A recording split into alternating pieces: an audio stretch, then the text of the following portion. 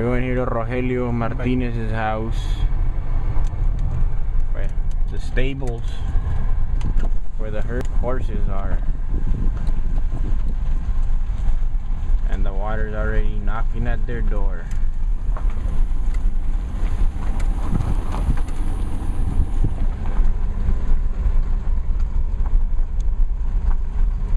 Know, it's already in their backyard. It's already there.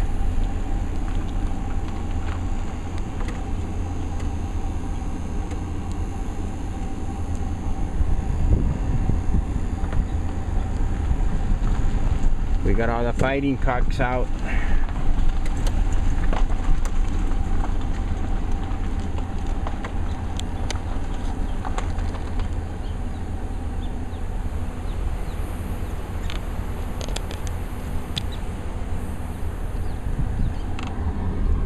There's some houses over there.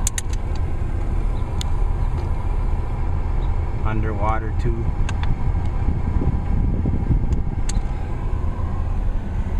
It's sad. Family members live here. It's just hard to see their faces.